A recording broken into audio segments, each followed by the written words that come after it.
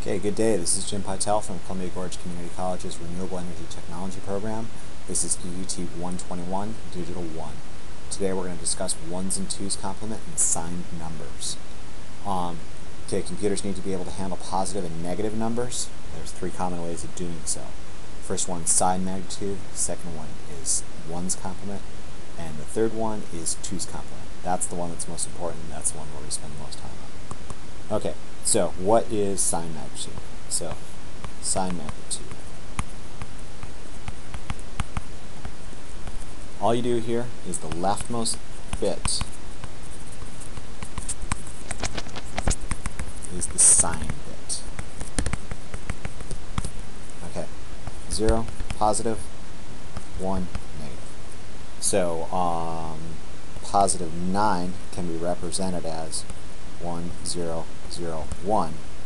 But it's a positive number, so we're going to put a 0 right there. So negative 9, it's still a 9, 1, 0, 0, 0, 1.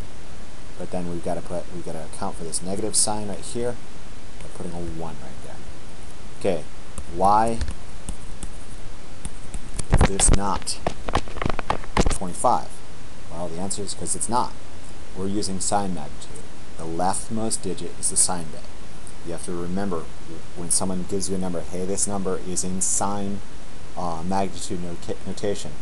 You have to realize that, okay, this leftmost bit here is not an indicator of a power of, in this case, 16, 2 to the 4. It is the sign bit. So it's not this guy, it's the sign bit. Okay, so why is it not 25? Because it's not 25. Okay, um, let's go. Uh, let's go backwards. Um, so that was decimal to sign bit mag sign magnitude. Now let's do sign magnitude do to decimal. So someone gives you a number 0101 in sign magnitude notation. Well, zero is in the leftmost bit, so that's the sign bit. It's going to be positive. 101, if you remember, that's 4, and that's a 1. 4 plus 1, positive 5. Okay, so we're going from sign bit to decimal. Now someone gives you a number that looks surprisingly similar, and that's 4 plus 1 still. But this right here, that is not an indicator of a power, uh, excuse me, 2 to the 3. 8 is an indicator of a negative. It's a sign bit notation, because 1 is a negative. We get a negative 5. Okay? That's sign magnitude. Let's move on to ones complement. Okay, ones complement. How do you represent a positive number? In ones complement, same as sign magnitude. i.e. leftmost bit is a zero. Okay, how do you represent a negative number? So use the ones complement. Well, what's one complement, you ask? Well, ones complement is the inverse of the positive number, whereby the ones are zeros and zeros are ones.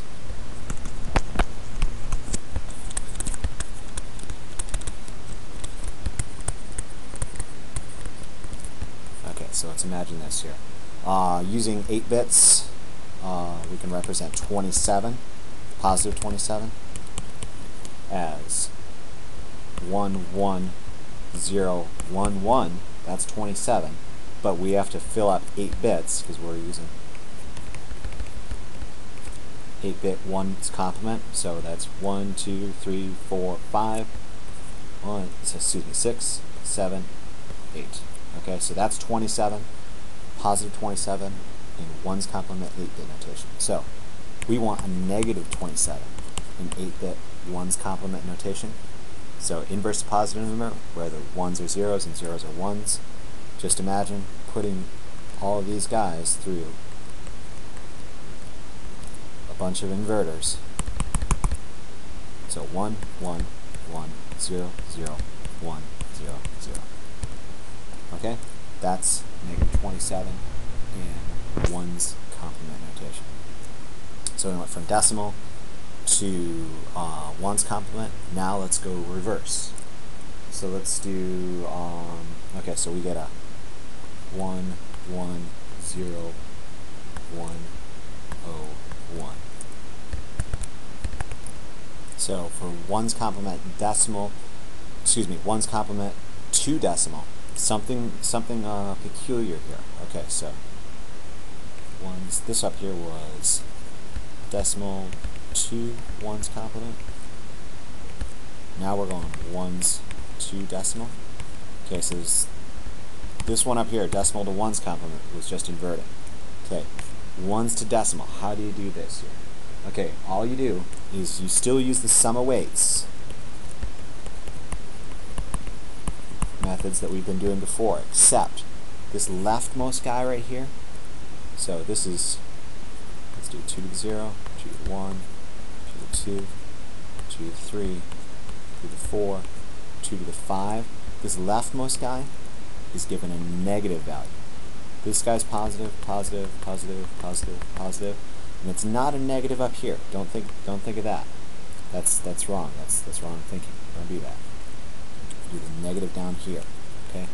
So, sum of weights here is again two to the zero is one times a one. Four and two to the four is a sixteen.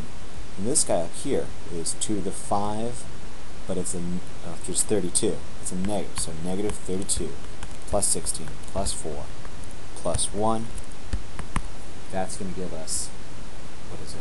Okay, so negative 11. But we have to account for something here. It's the sum of weights with negative leftmost bit plus 1.